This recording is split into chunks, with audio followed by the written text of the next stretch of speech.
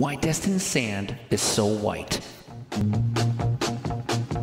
Sand is one of the most fascinating things to look at under a microscope.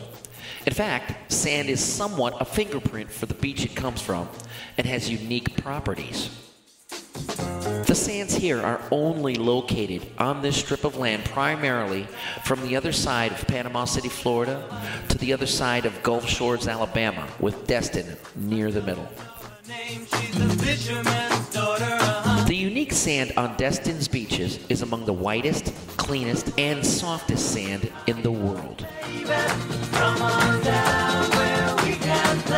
What you might not know is that when you walk on the beaches here, you are actually walking on the mountains, the Appalachian Mountains, that is.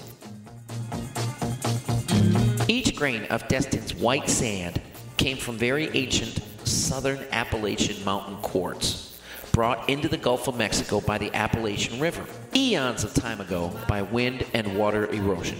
The age of the sand and the distance from the source resulted in it having been ground into fine particles to a feather soft, blindingly white quartz powder. Normally, such quartz has a rosy pink tint because of its iron oxide coating, but the sugary white quartz of the Emerald Coast lost its coating somewhere along its watery journey thousands of years ago. The naturally white quartz sand is bleached from the action of sun and water. The beach sands of Destin have unique properties. It is the reflective characteristic of the quartz. It's so reflective you can actually get sunburned sitting under an umbrella.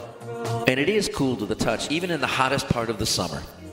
Not only does the sand seem to sparkle in the sunlight, it actually squeaks when you walk on it from the sides of the grains of sand rubbing against one another. Even beautiful color of our local Gulf waters are affected by this brilliant sand. As sunlight filters through the crystal clear water and reflects off the white sands in the bottom, the light is reflected back through the harmless microalgae suspended in the shallow waters and gives the waters its emerald green color. Cool, hey?